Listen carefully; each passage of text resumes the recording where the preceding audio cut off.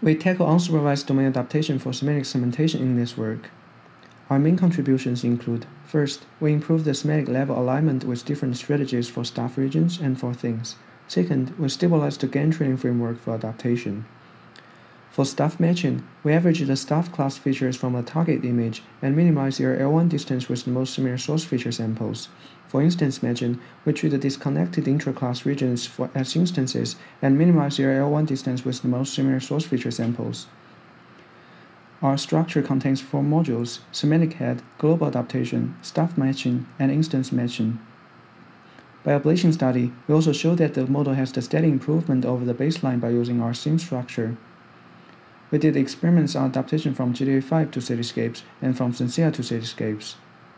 In conclusion, we propose stream structure to adapt stuff and instance regions differently, stabilize the GAN training framework, and achieve new state of the arts. Thanks.